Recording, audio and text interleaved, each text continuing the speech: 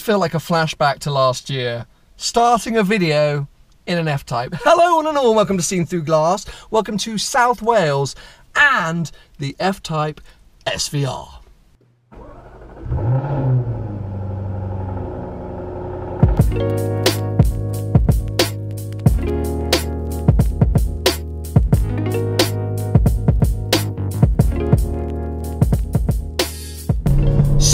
Follow me on Twitter, you may have seen uh, a month or so ago, I started trolling Jaguar UK for access to an F-Type SVR. I don't think I've hidden from anybody the fact that I missed my F-Type since I it at the end of last year, and amazingly, the guys at Jag have pulled through, and not only given me the keys to an SVR for a day or a, or a weekend, but for a month. I have the keys to this absolutely ostentatiously blue, loud SVR until July. Oh, this could get very, very expensive.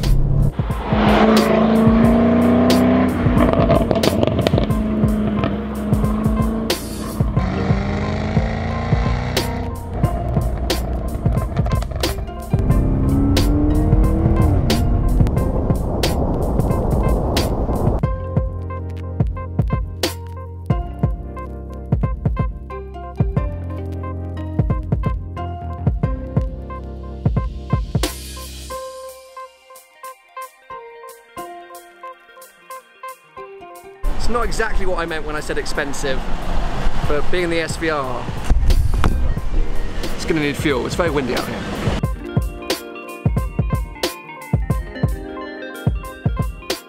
I don't know where exactly I've come to in Wales, but it's like a proper little car hub. There's a Focus RS over there. There seems to be some kind of old Rolls Royce rally going on. At our hotel, there was a Turbo S, a DB11 and an NSX, which left super early, so I didn't get them on camera, but Hmm, little car mecca going on in South Wales. Why am I actually in South Wales, you may ask? It's a good question. I think mainly because the minute this Jag got dropped off with me, I was like, I'm, I got to take it on a trip. I don't want to just sit in London with it. But also because I'm indulging in a bit of travel vlogging and I'm visiting a place called Hay on Wye. That's a real place, Hay on Wye. I used to come here a lot when I was a kid, uh, and it's kind of like a weird antique booky place. Uh, it might be crap. It is raining. It is very windy but hey ho, why not? We're going to explore, and it is just so good being back in a Jag.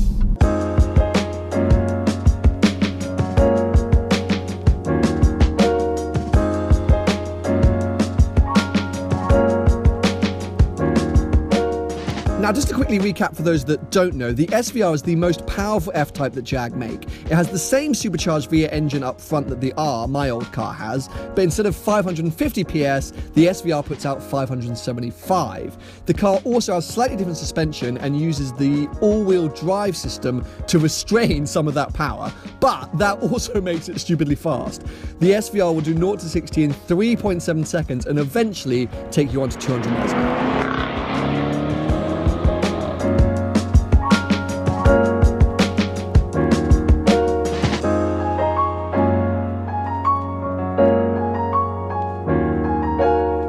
Now you may have seen that since I owned my F-Type, they've actually done a sort of facelift version for 2018, and this is an 18 model year SVR. However, for the SVR, there aren't as many cosmetic changes as there have been for the rest of the F-Type range.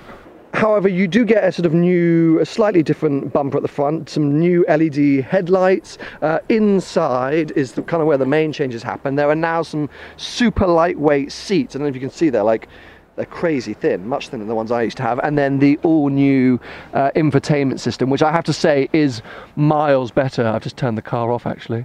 Yeah, okay. I'll show you that later, but um, uh, that is miles better. Apart from that, there's not a whole lot of changes. Oh yeah, the seats are slightly different. Can you see now, as well as quilted, it is perforated leather. I just feel like the SVR has so much more presence on the road. The wing, the massive front intakes.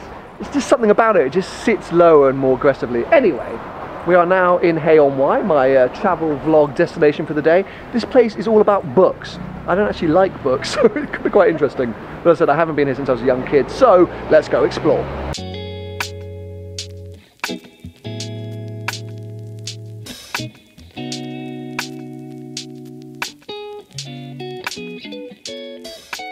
So literally the last time I was here, I must have been about seven years old. It was always a stop off point on the way to see my granny. And I just remember being tortured because I just hated books that age. I mean, I still can't read. I mean, don't read. Um, so it was like my worst nightmare. But now, it's so cool. There's so many like weird little alternative shop, hipster coffee shops. My dream. Um, yeah, AOY has become legit. Maybe it was always legit. I was just too young to appreciate it.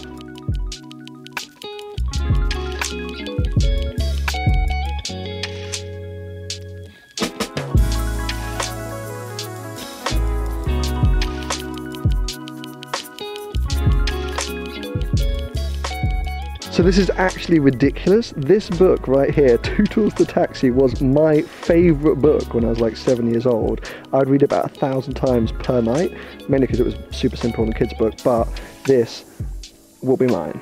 Right, amazing. I literally saw that straight away and was like, oh my god, Two Tools, my hero. Absolutely. Have a great day. Thank you very much.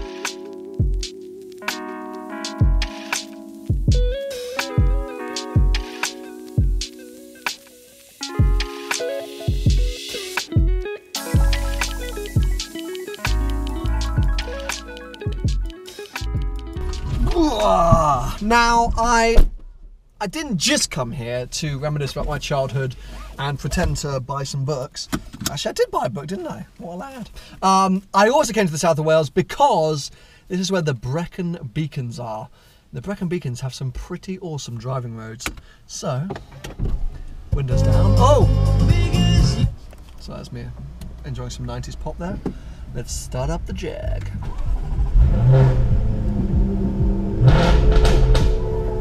Can't help but see so antisocial in this car.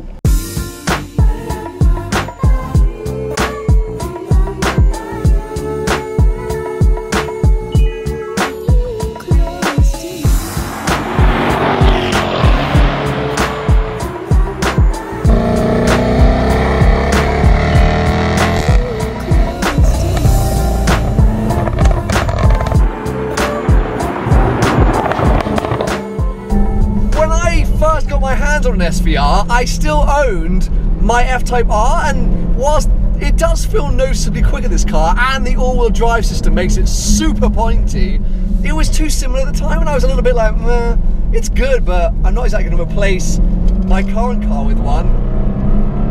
But jumping into one now, after spending a week with a 488 and obviously owning a bloody 540C, oh, ah, you just realize what a powerhouse this thing is.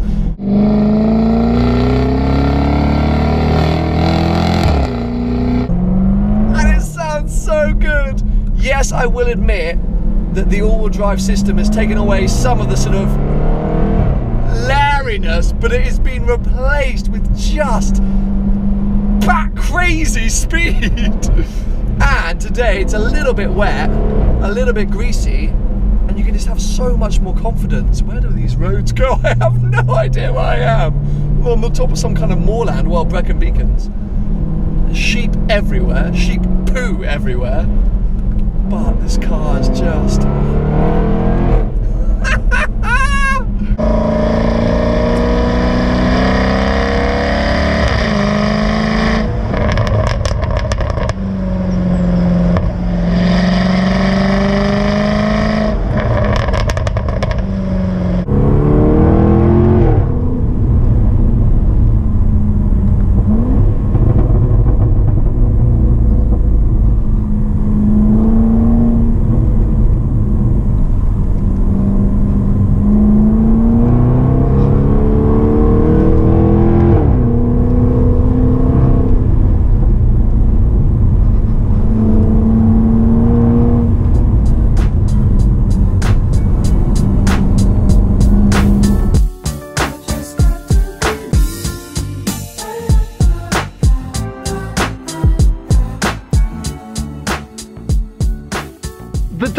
which I have, which is a very nice dilemma to have, is where would the F-Type SVR fit into my life? Because just given the last 24 hours that I've had the keys to a Jag, again, I know by the end of the month that I've got this car, I am desperately going to want one again. I mean, to be honest, I want one again already, but I just don't want to get too carried away with myself. But it couldn't really replace the Abarth. This is a 120 grand car, new with all the options from new, because I've checked, I've already been on the Jag configurator. And how would it replace the 540C? Because it's such a different car. And that's not to say it's a downgrade, I think it's more of a sidestep.